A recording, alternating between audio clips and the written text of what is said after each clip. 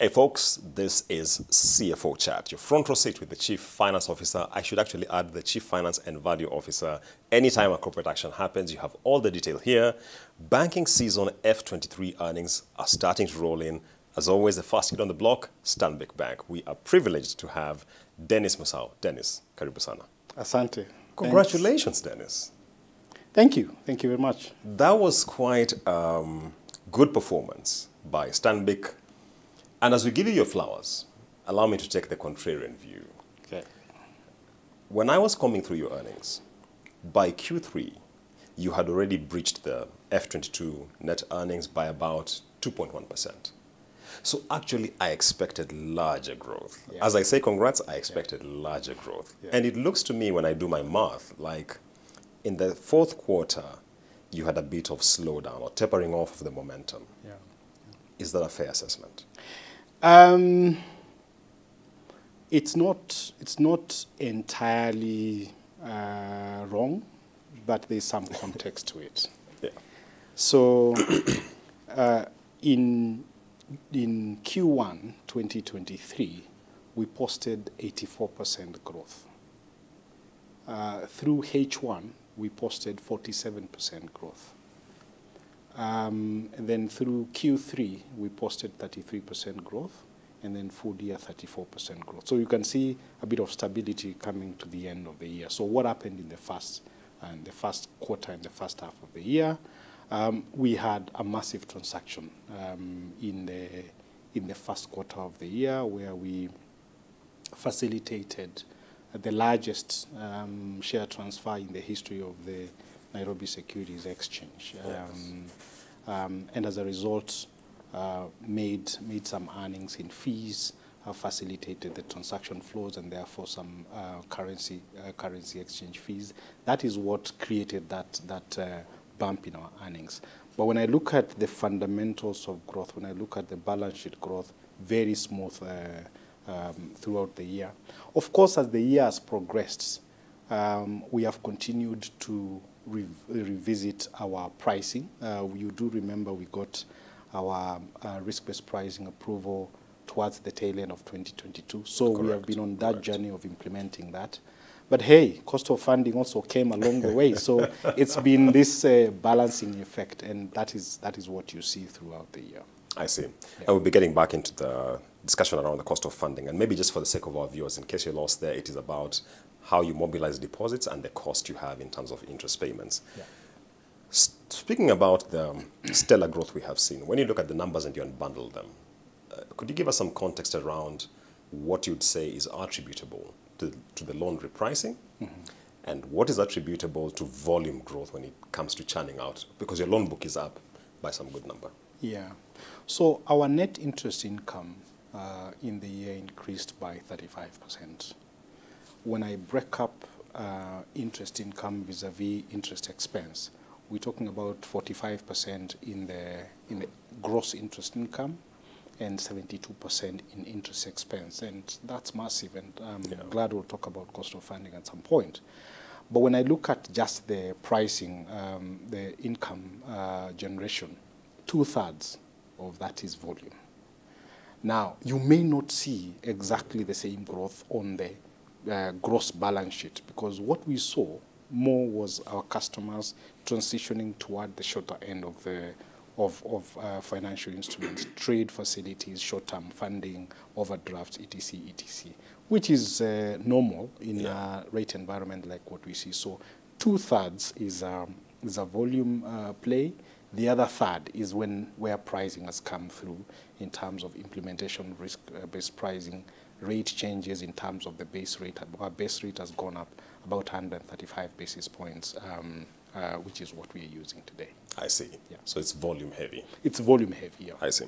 When we sat down with you uh, about six months ago, we were touching base on the half year numbers. And um, at the time, I'm just revisiting the notes I took at the time, 70% of your retail clients were on risk based pricing, about 40% of your commercial segment was on risk based pricing.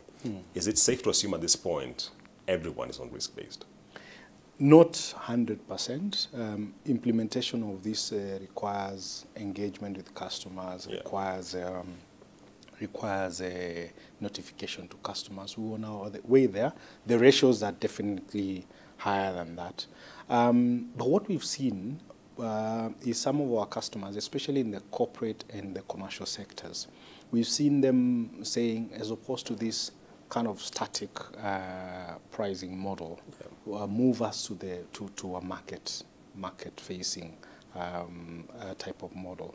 So link us to SOFR, link us to the um, uh, to, to, to T-bill, which kind of helps them uh, be able to, trans in the transparency of uh, the, the pricing they, they, they, they, they want to see. So we are not 100% on, uh, on risk-based pricing. We're on our way there, but there's uh, more and more of our customers actually asking to be on market observable rates, which is allowed by, by the approval that we got from the regulator. A quick follow-up there is how do the ratios look like now? Um, I would say 50% of the book is on the market market okay. linked uh, uh, linked book, and that is uh, looking at uh, the entire the entire portfolio. Um, about 30%, uh, 30 to 35% is on risk-based pricing. The rest is uh, internal pricing, the one that we're transitioning from, and a bit of it is actually fixed. So there are some certain customers who say, just give me a fixed price. And I actually think that's about 8 to 9% uh, yeah. of, our, yeah. of our book that is around that. Dennis, one of the sweet spots in these numbers is uh, your asset quality. Yeah. Your non-performing loan book, especially from the ratio side, mm -hmm. down to the single digits. Yeah. And especially in this environment, you know, I, I, I, looked at it and I had to do my math about three times yes. just to yes. be sure that I'm getting it correctly. Yes, yes. It looks to me like you might have had some major write-off. Mm -hmm. uh, could you give us some context? Yeah. So look, I actually thought the sweeter spot uh, would be the dividend yield, but I'm sure we'll get there. um, Look, the reality is the credit risk environment uh, is tough. I mean, um, whether you talk about corporate customers, whether you talk about commercial customers, whether you talk about individuals. And I actually think, um, you know, numbers are an outcome.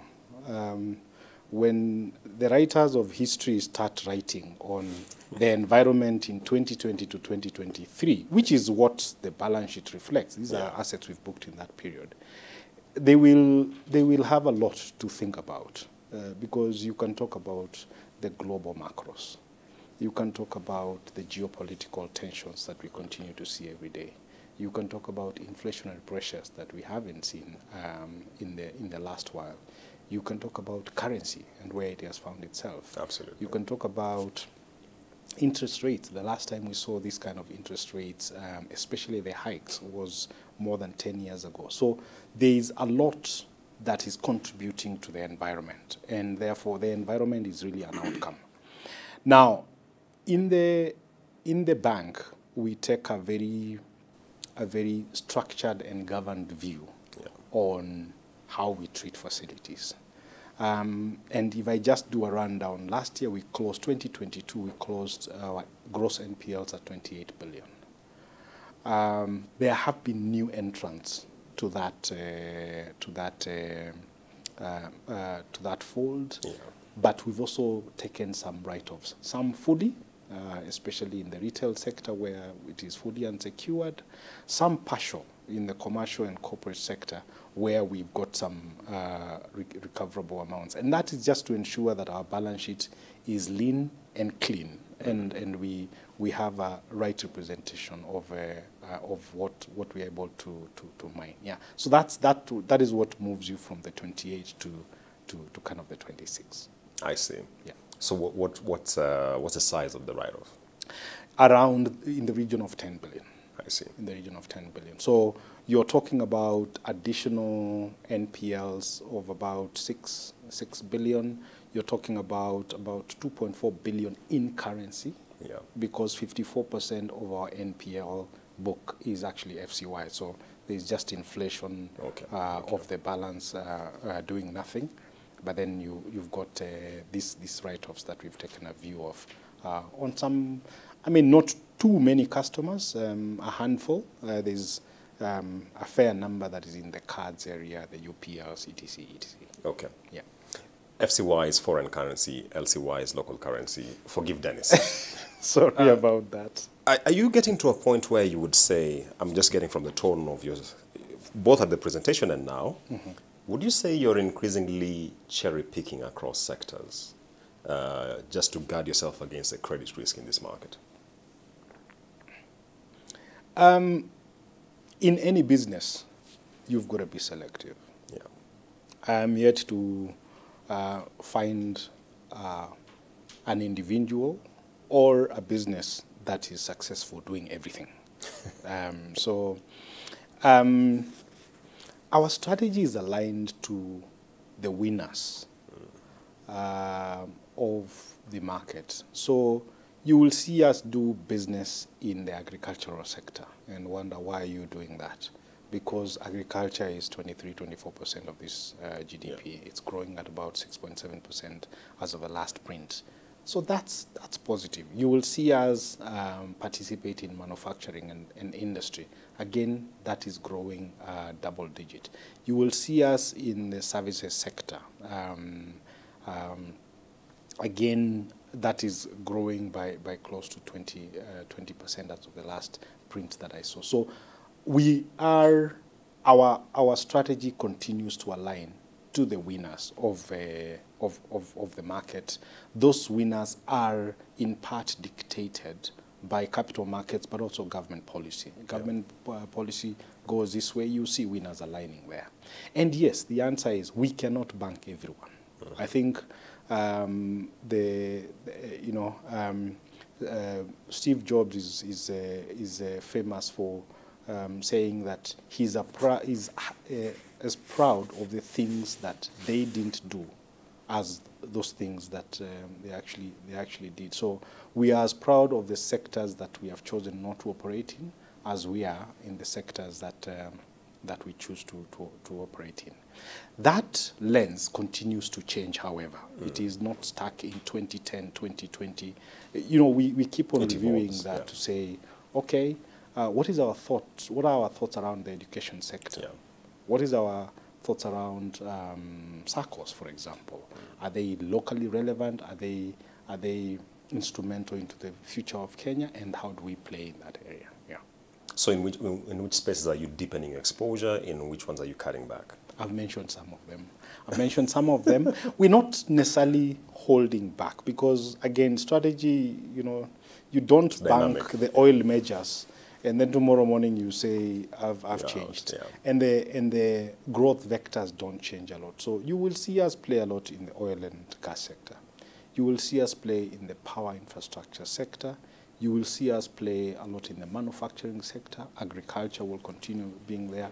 FIs, um, financial institutions and non-bank financial institutions will continue being there. So those, those winners, and then you will see some exigencies into education, into um, a bit of the um, savings, savings environment. Th- those, those are the areas that we want to play. And that is at the corporate and commercial area. Um, coming further down, and one of the beauties of our new strategy is that uh, when we did some background work, we realized that organizations only grow from their points of strength. Yeah. So we've built a very, a relatively strong uh, uh, private bank, uh, banking executives, banking uh, private clients, banking the wealthy, showing them opportunities locally and, and offshore. We want to grow from that point into how do we bank the wealthy, the executives, the privates of the future. Yeah. So you will see um, us exerting ourselves in those, in, those, uh, in those spaces going forward. There was mention at the briefing that uh, your good NPL ratio, non-performing loan ratio notwithstanding, Yeah. you still see further room to kind of bring it lower than it is right now. So, so my question here is, one, um, what would be a sweet spot? And secondly, how, how is the flow looking like when it comes to how you have the buckets of, of the loans from stage two especially to those which are now falling into that category, which would say now here we're dealing with a serious situation? The way I like to look at uh, NPL, NPL is almost an outcome.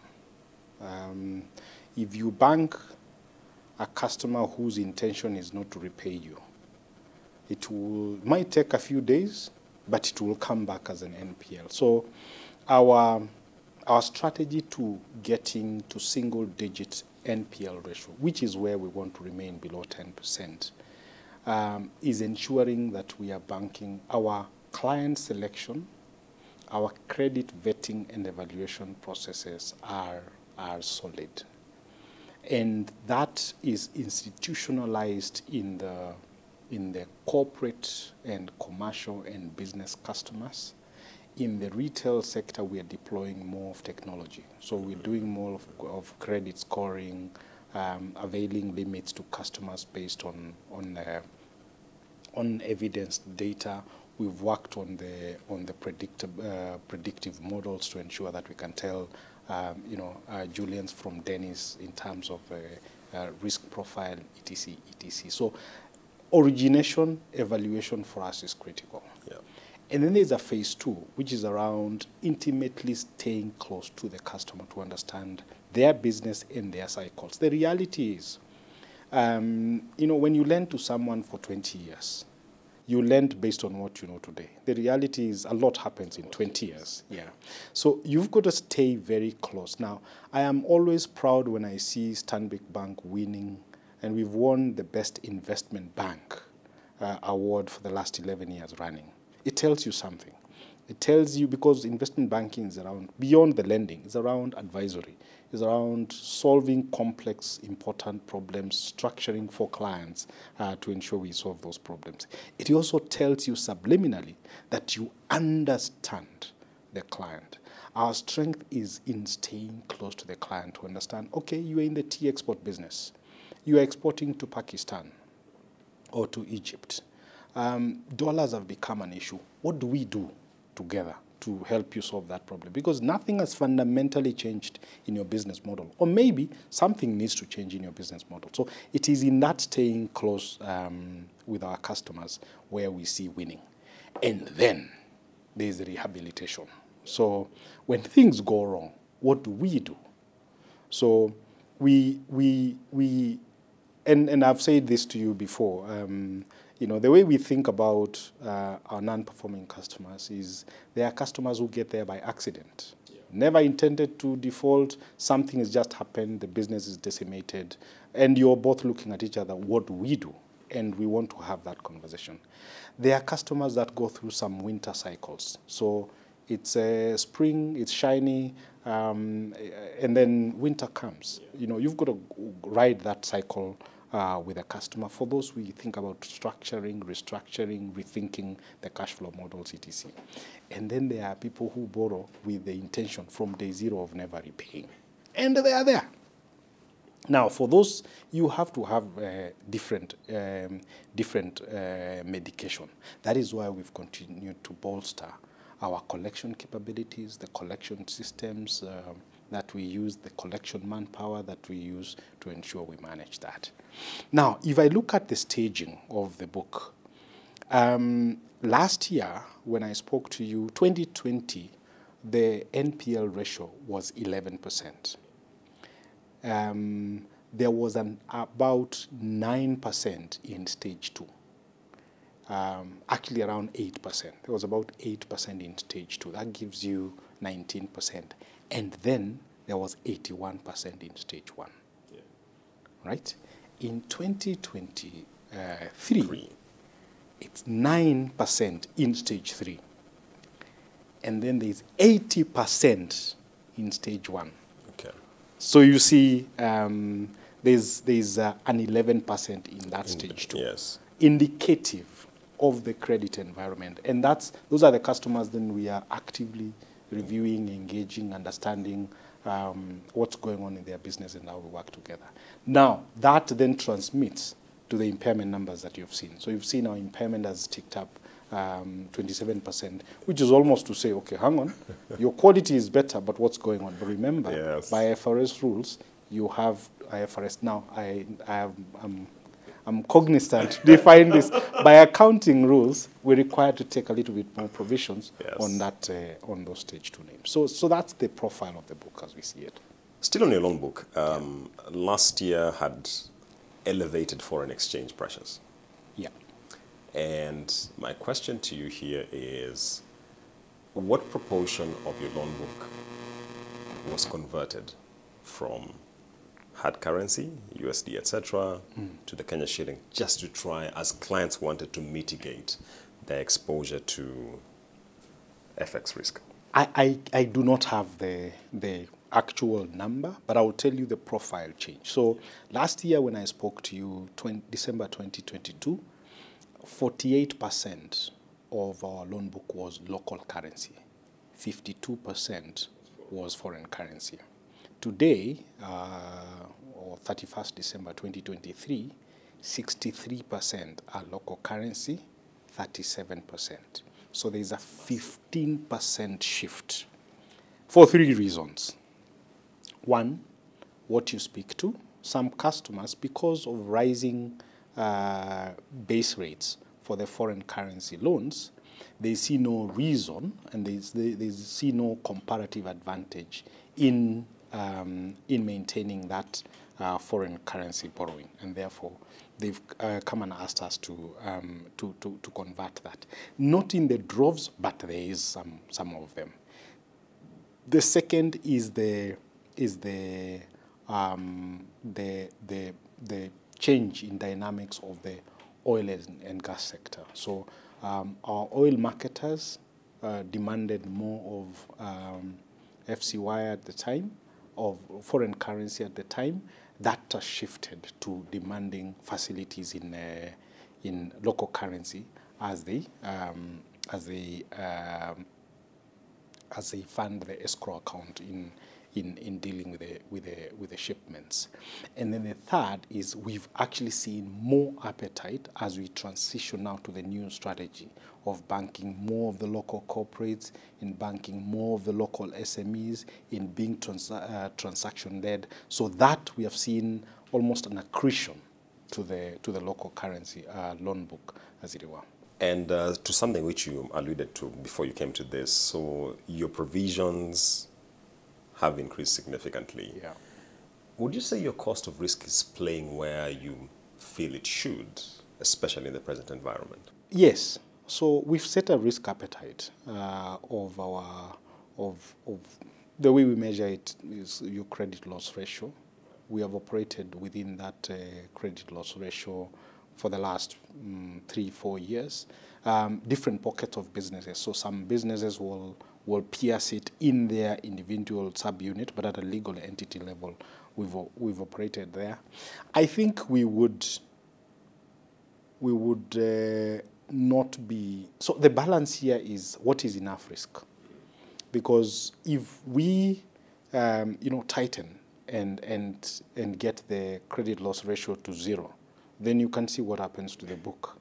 Um, um, if we open the taps um, then you can you can you lose all the all that you've made in in uh, in, in income. The the 2.35 percent that we've reported compared to 2.21 percent that we reported at half year.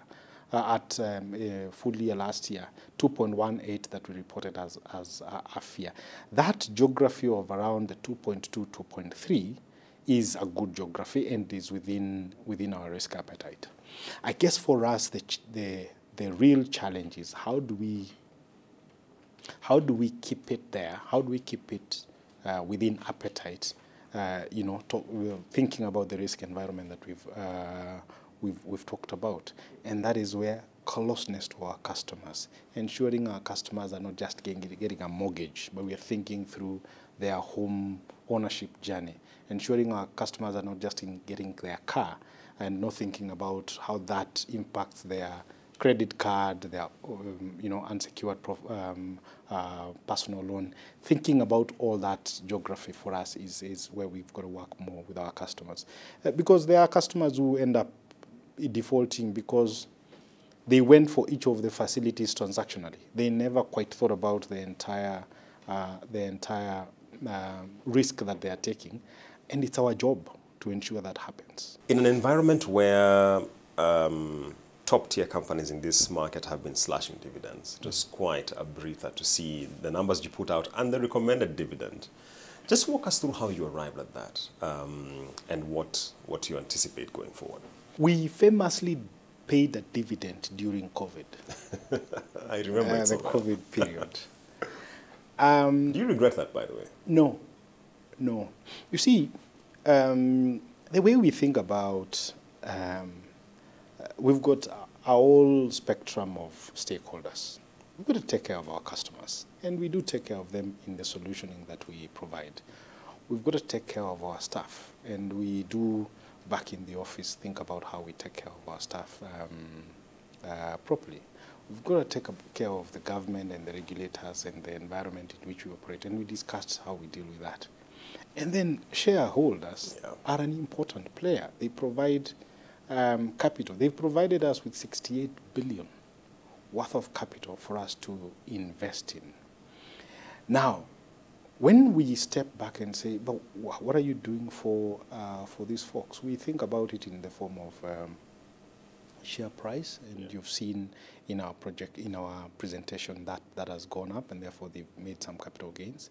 But it's actually cash dividend to the and to the extent that we can meet three criteria, we'll pay a dividend. The first is when we look forward, do we have sufficient capital to continue funding growth? We go through that math, we stress it, and we, we, we get comfortable with it.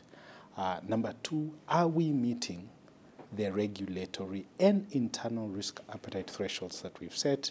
Again, we go through that process thoroughly and go all the way, um, a full year view, sometimes even a two year view uh, to, to, to uh, get to the conclusion. And then number three, are we keeping sufficient buffers to absorb any, any, any shocks? You would know that uh, banks through an, go through an annual um, internal capital assessment process, which looks three years out. And when we go through that and we look at the basis points that of capital that will be called upon uh, based on the risks that we see in the environment, anything else belongs to the shareholders. Guess what? Because of that dividend payout efficiency, you can see our, our um, return on uh, equity, um, you know, accreting every year from 10.4 in, in, in, in, in 20 uh, to 13.3 in 21 to 15.3 in 22 to 18.6 uh, in, 20, in 23. And I'm you're not- targeting the 20s. I think we need to get there. I think, and look, look, um, if uh, the owners of this 68 billion um, uh, asked us, why shouldn't we invest in the infrastructure bond, which is paying at, At 18. Going 19, actually.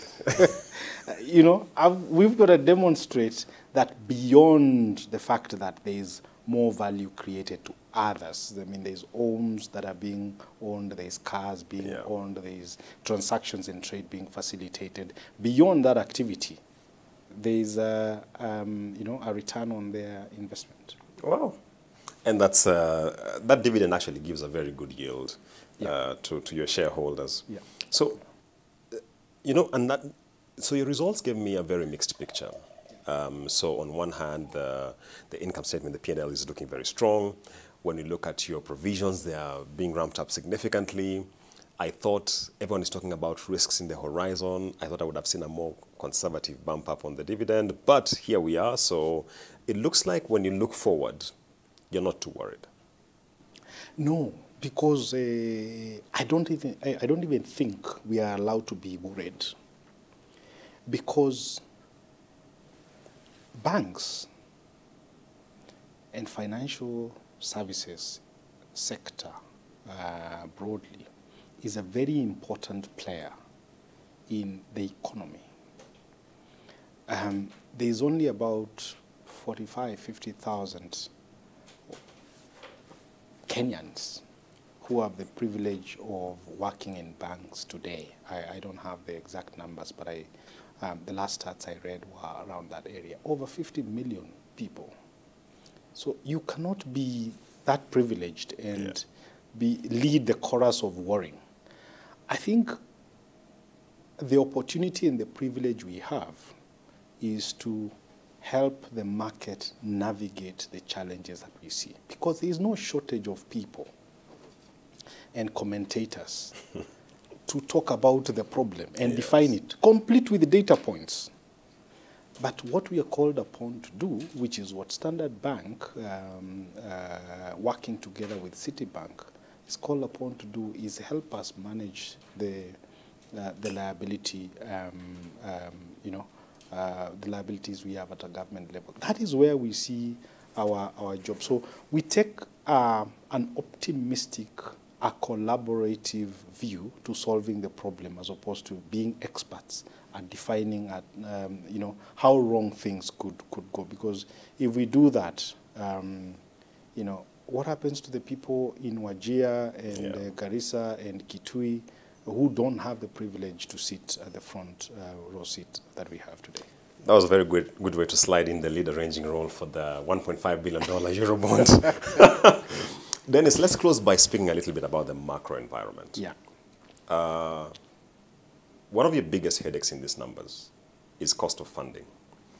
And when I look forward, we, you know, the government has taken financing by the bucket loads, the Eurobond, the infrastructure bond, massively oversubscribed. Mm.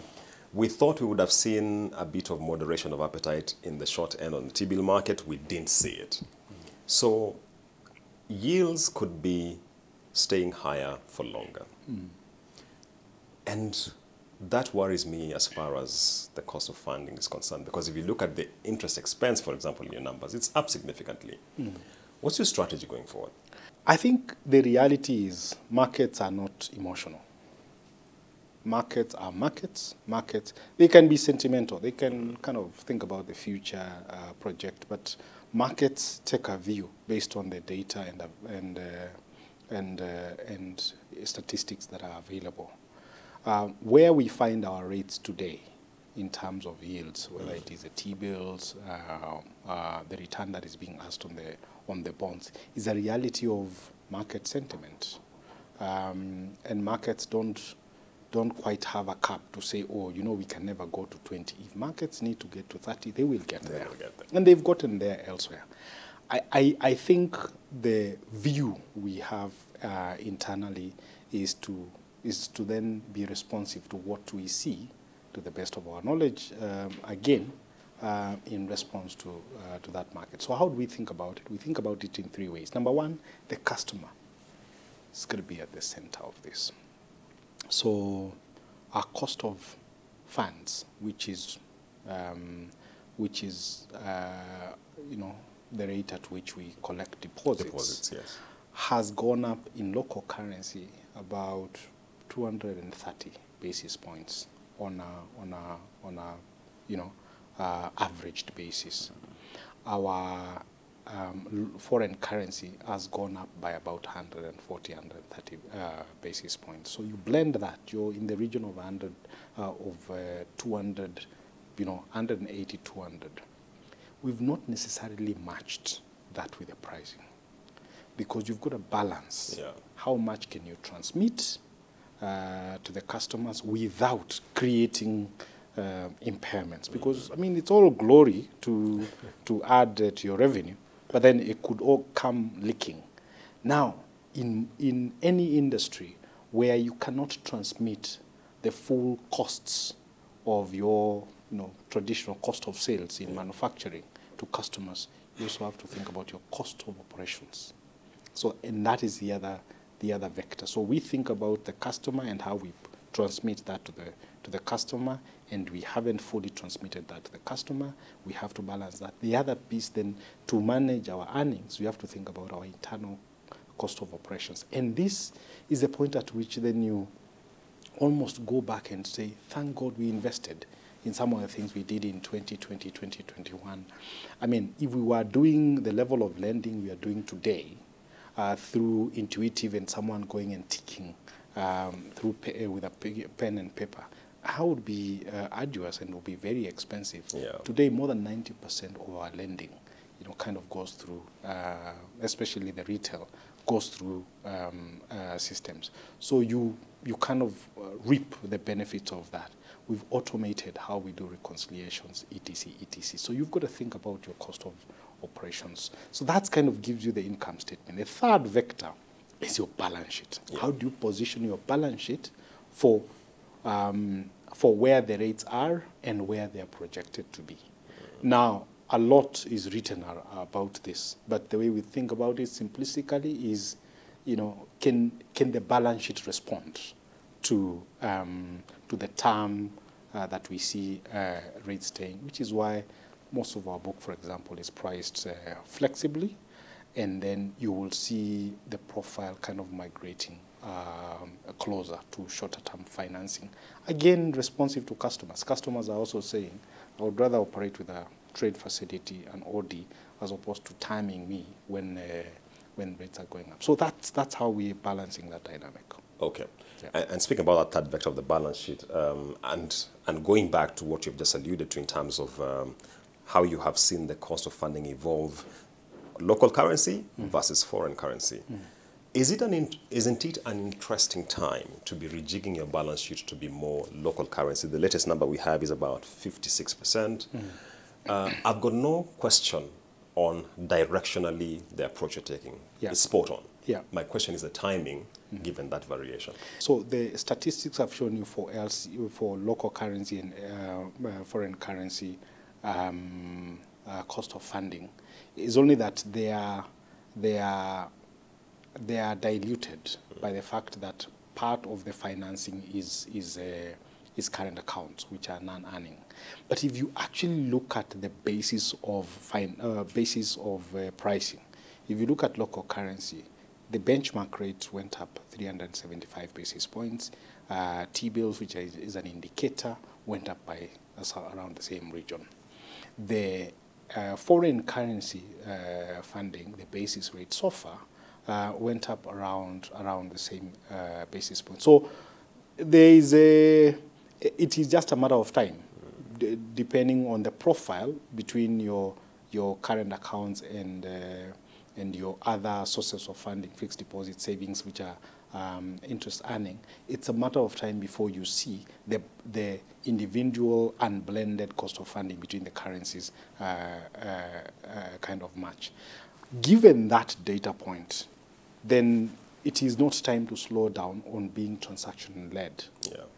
Uh, now, if you're going to bank SMEs um, and you're going to, to fulfill their trade facility needs, and you're going to um, facilitate them to, um, uh, to draw on overdraft etc., etc., and you're going to facilitate locally relevant sectors like education, like um, uh, the savings culture, like um, home loans, then you need to be uh, transmitting the other side. So, um, for me, uh, the timing is right. The timing is influenced by the customers, but when I look at the data and where the cost of funding is, um, it's it's uh, validated by the fact that the base uh, rates uh, will will um, you know have almost gone up the same way. Now, if the Fed starts starts turning the rates um, Down. uh, I think they're meeting in March. If they start turning the rates, uh, it is possible within a relatively uh, uh, decent period of time, we might start to see that as well, because of course, then you've got flows uh, coming to emerging markets, and therefore, you know, uh, yield starts to respond. So uh, you you cannot stop. Um, you know, you, you can't uh, stop kind of driving along the longer journey because of these dynamics. They need to be managed, but I think the strategic uh, move towards localizing our balance sheet, being locally relevant, being a truly Kenyan and South Sudan, uh, South Sudan bank, and driving that through our purpose is going to remain. Two last questions. The first one is um, when do you see the Central Bank of Kenya, it is widely expected, will begin dialing down and cutting back the rates? When do you see that unwinding happening or starting? And does the potential erosion of the strong growth we've seen in the interest income then concern you about your outlook? Um, the answer to the first one is I don't know. I did say earlier that uh, markets can be sentimental, but they're not emotional. I think the monetary policy stance that we're seeing from the central bank is to be responsive to the sentiment of the market. So, if and when global markets start uh, turning, the market sentiment around Kenya starts uh, uh, turning either way, we will see that response. I don't know when that's going to come. Um, do I worry about, you know, uh, uh, uh, reduction in uh, benchmark rates? No, because of two reasons. One, I've got an opportunity to rethink my pricing on both the asset side and the liability side. That's the one thing. And then number two, uh, we're watching the balance sheet profile. As long as uh, the instruments that we have on the balance sheet are responsive to those market dynamics, we should be able to respond um, comfortably. My final question, Dennis. You know, uh, someone watched our interview from last year at this time. Mm -hmm. And one of the questions I asked you was, uh, I thought this is the time you will have joined the 10 billion club in net earnings. Yes. And when your numbers came out yesterday, that person called me and she told me, you must now ask him. Mm -hmm. How does he feel about it? It feels great. It feels great to deliver more than 10 billion in, in profitability. But I think for me, it's not about the, the number is an outcome. For me, what actually feels greater is when I think about um, those colleagues at Stanbic Bank that have gone out and facilitate, uh, facilitated home ownership. For me, that's, that's, that's prouder. Those colleagues at the bank who have gone, out and shaped and structured investment banking transactions to drive infrastructure growth and infrastructure development in this country. I think that for me is, uh, is, is, is, very exciting. I, I am excited about those colleagues in the bank who have gone out and facilitated the biggest share transfer in the history of the NSE uh, in 2023. That, for me, is actually where the greatness is. Now, I am even more excited around the work we do with our foundation. Today, um, we facilitated through a partner, uh, through partnerships we have with, with, um, with uh, some, some multinational um, uh, uh um, partners.